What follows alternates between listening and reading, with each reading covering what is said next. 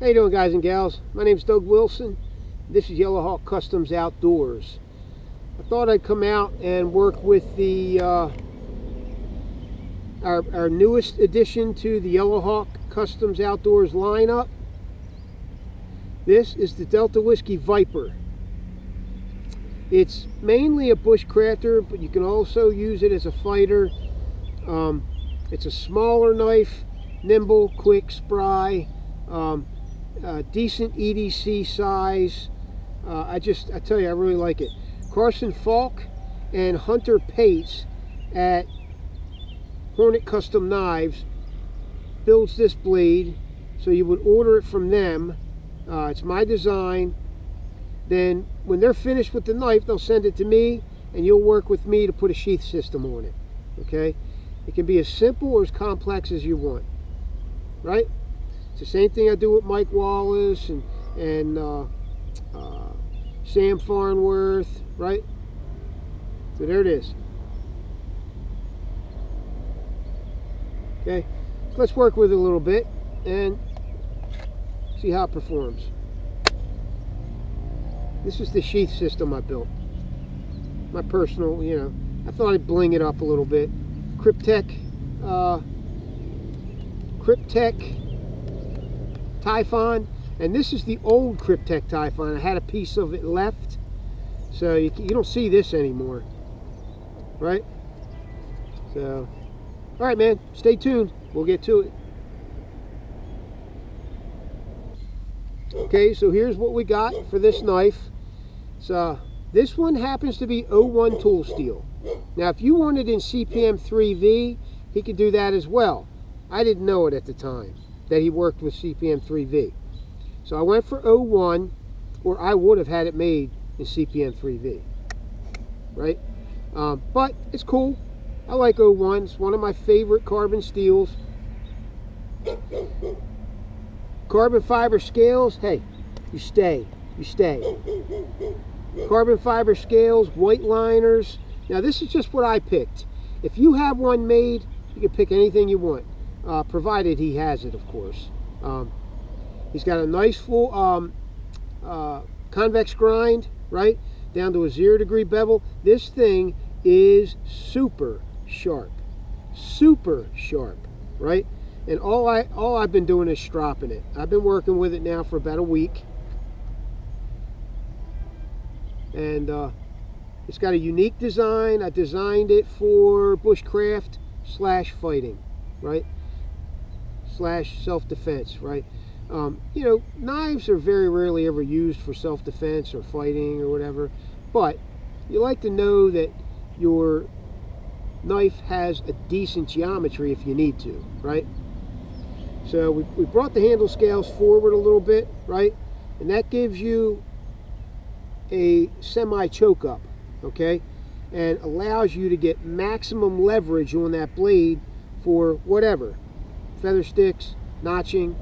Um, you do thumb pushes with this ramp here, the, the indent here, right? It's just very comfortable. Um, in that note, you stay, you stay. What this does, it keeps the webbing between your forefinger and your thumb from riding on that spine and hurting because it hurts when, when that happens. So we brought the handle forward and now you got a nice flat handle for that web that's it's, it's not going to hurt it right? I don't know how many times I've choked up on a knife put my hand on the spine and like ouch right? Well I didn't I didn't want that for this knife. So there she is. Coke bottle style handle stainless steel pins. This is a beauty. Hornet custom knives